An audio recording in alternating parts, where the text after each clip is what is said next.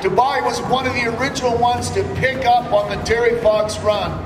We have been absolutely fabulous for donating towards cancer research.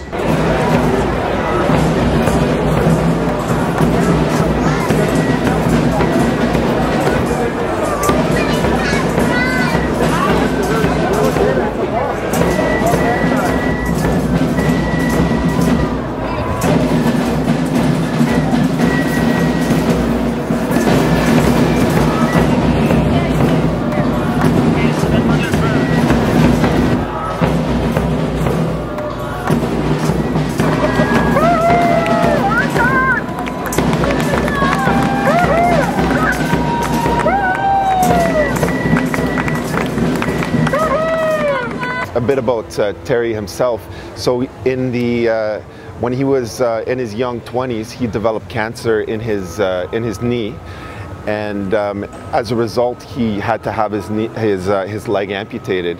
He came up with this idea that he was going to run across the country, uh, basically on his one leg, and and basically promote and raise money for cancer research. So really the Terry Fox run and, and really what you're seeing today is really that legacy around raising money for cancer research, um, you know, bringing people together in a, in a kind of family uh, fun environment.